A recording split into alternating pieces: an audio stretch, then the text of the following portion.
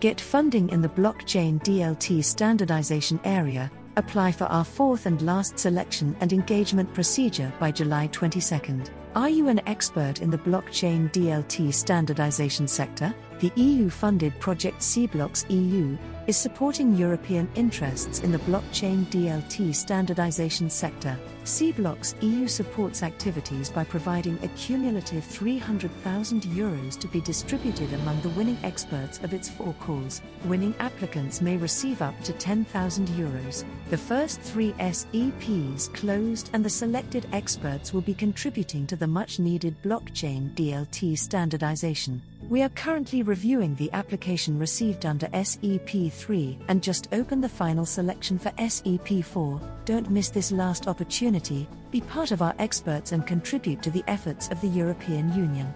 Infographics regarding the selected experts of the first and second SEPs are available online and might be helpful for you to understand what a winning application needs.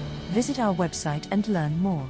Submit your proposal on these topics identity management, data provenance, governance, token and asset creation and exchange, process optimization, automation, cybersecurity, and applied game theory, use cases. To learn how to submit your proposal and which are the guidelines to follow, check out the call on our website and the results from the past SEPs.